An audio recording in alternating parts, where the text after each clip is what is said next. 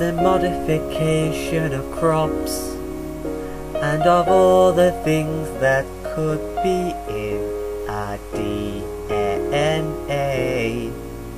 This causes ethical problems.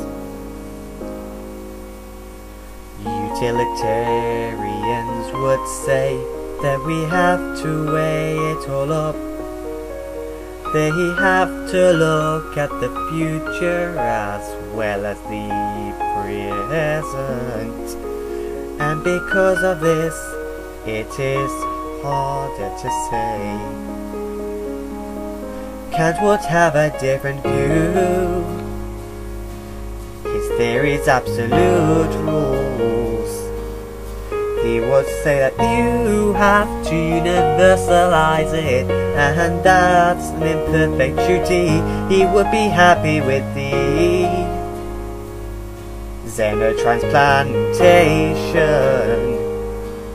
As long as there were no risks to the humans, which I cannot see happening. Oh yes.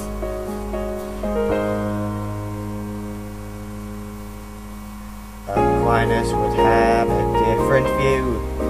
He would not like things changing. He would say that God designed the world and would not want others to change it. He would be against the enchantment genetic engineering. Situation ethics is different.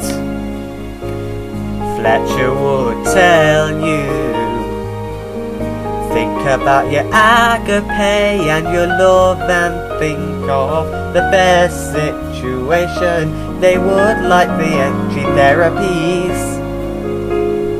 Only the somatic ones.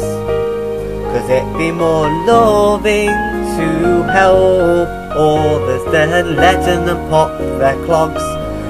But germline therapies can be more problematic. So Fletcher wouldn't like it, cause it's not the most loving thing to do. Oh, yes.